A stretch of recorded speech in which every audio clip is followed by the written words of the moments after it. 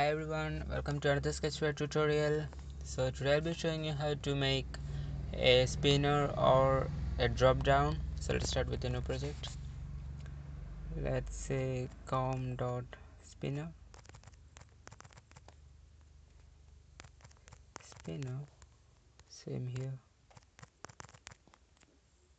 oops mm, yeah so let's add a spinner that's all we need here right now. So let's move into the logic section and on create we'll first add a list.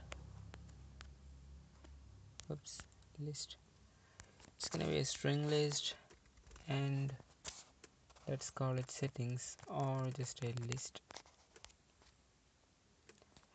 And we'll first add some elements to the list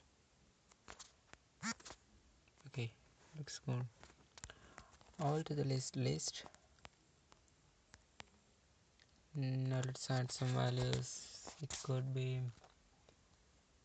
some car brand names. Audi. Mm, Benz. BMW okay great. Now we'll use the function spinner set spinner data to bind the list to the spinner. We have just created and we'll select the spinner and the list. Okay that's all. So let's run it.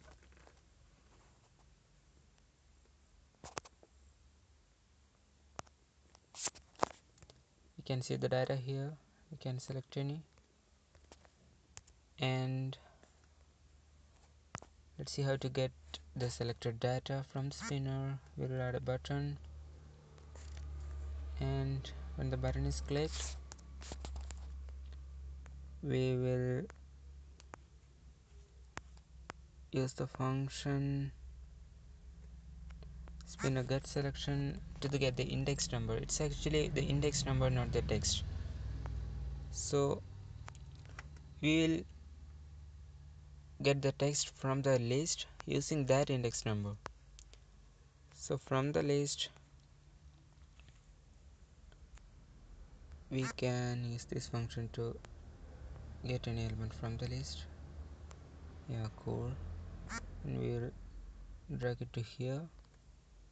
And we'll select one here and list here. And, and this is our text selected text. So we'll use another function show message to display that. And we'll just bind it here. Looks great. So let's try it.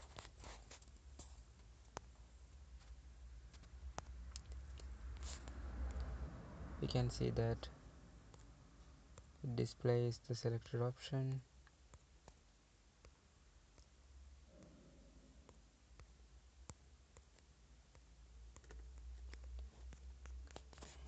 and that's all for today. Hit the like button and subscribe for more videos like this. And if you want to see any specific tutorial and if you want to make if you want me to make any you can post it in the comment section below and I'll make it if I can. So thank you for watching